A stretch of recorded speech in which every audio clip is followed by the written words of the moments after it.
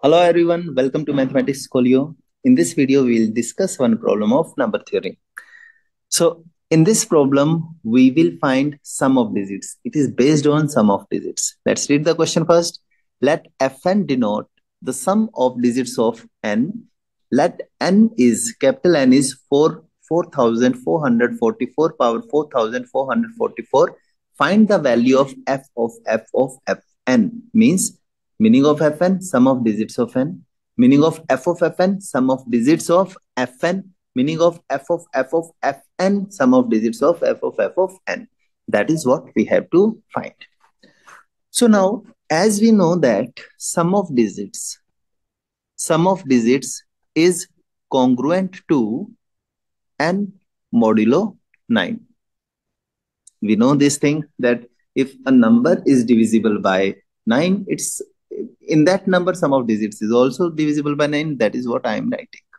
Now we have to check that n is congruent to what?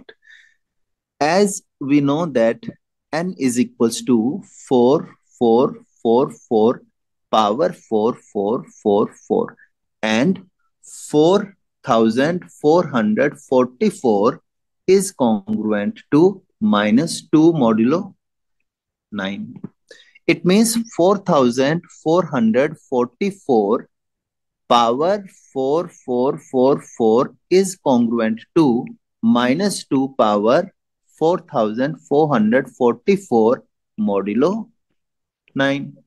So minus 2 power 4004 minus 2 power 4444. Power of minus 2 is even. Therefore, we can write that this is 2 power congruent to 2 power 4444, right? And 2 power 4444 we can write as 2 into 2 power 4443 modulo 9, right? Now, why I'm writing it like this? Because 4443 is divisible by 3, right? And 2 cube is nearest to 9. There is remainder 1 if remainder plus 1 or minus always we uh, try to create a number such that we'll get modulo 1 or minus 1 and in this situation in this situation we can write that 2 is equals to this number is congruent to 2 into 8 power 1481 modulo 9 right? Modulo 9 Okay, so number n is congruent to 2 into minus 1 power 1481 modulo 9, which is, which is congruent to minus 2 modulo 9, which we can write as 7 modulo 9. It means n, that is 4444 power 4444 is congruent to 7 modulo 9 okay? Now but as we know that n n is congruent to 7 mod 9 and fn is congruent to n all right? So we can say that fn is congruent to 7 modulo 9 right?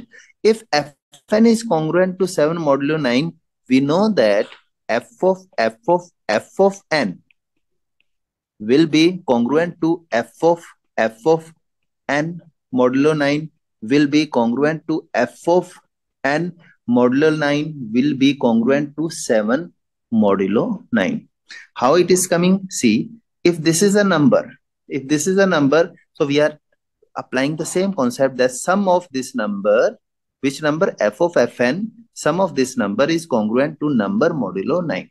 So we are getting that f of f of f of n is congruent to 7 modulo 9. This implies, this implies f of f of f of n will be either 7 or 15 or uh, 7 or 16 or 25 like this.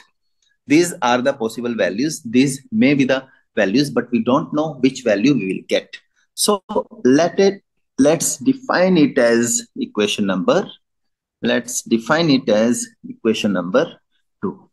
Okay.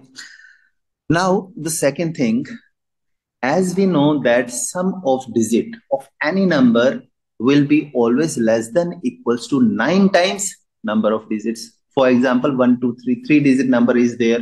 We can say that sum of any 3 digit numbers will be less than equals to 9 times 3, right? 9 into 3. Okay, that concept we are going to use. So, uh, I'm saying that sum of digits is always equals to 9 less than equals to 9 times number of digits of n number of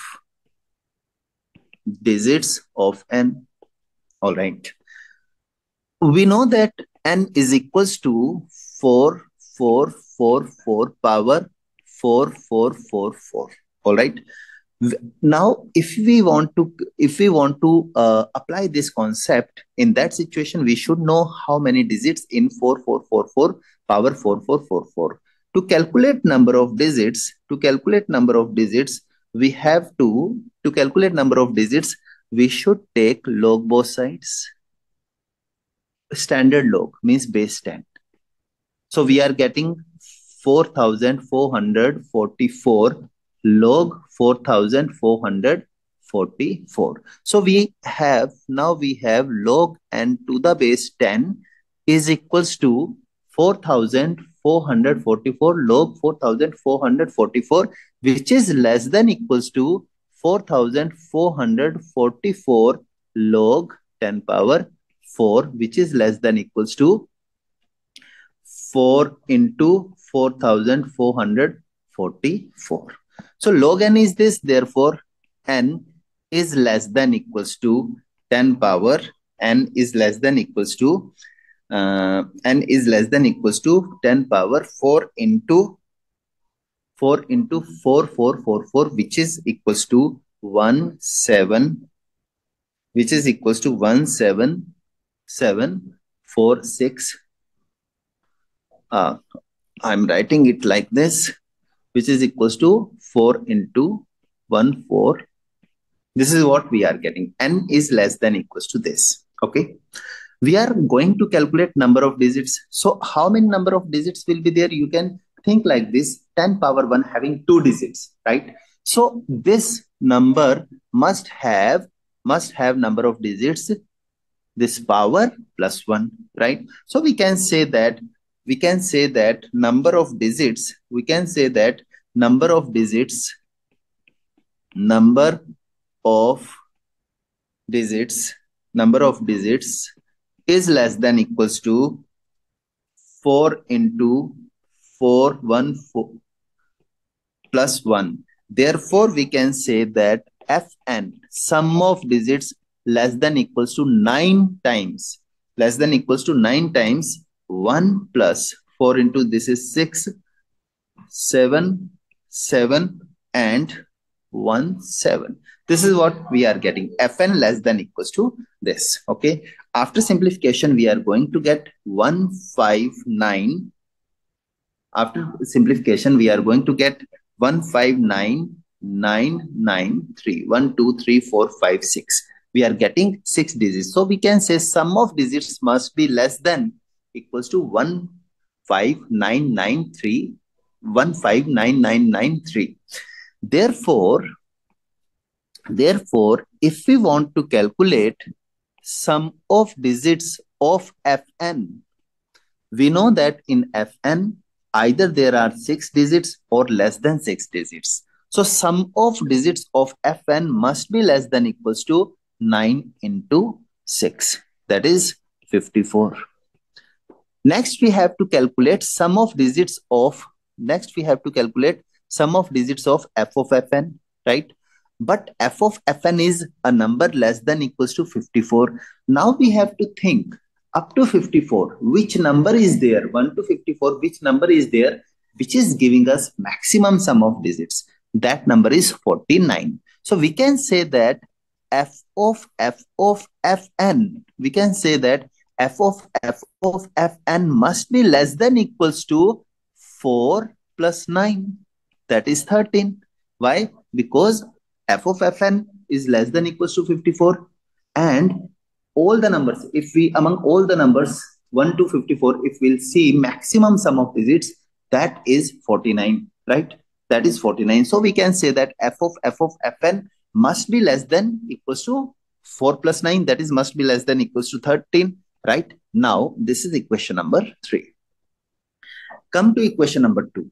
f of fn, uh, we concluded there that f of f of fn is either 7 or 16 or 25 and here we are getting f of f of fn is less than equals to 13 so there is only one possibility. Only possibility is 7 so 7 is our answer.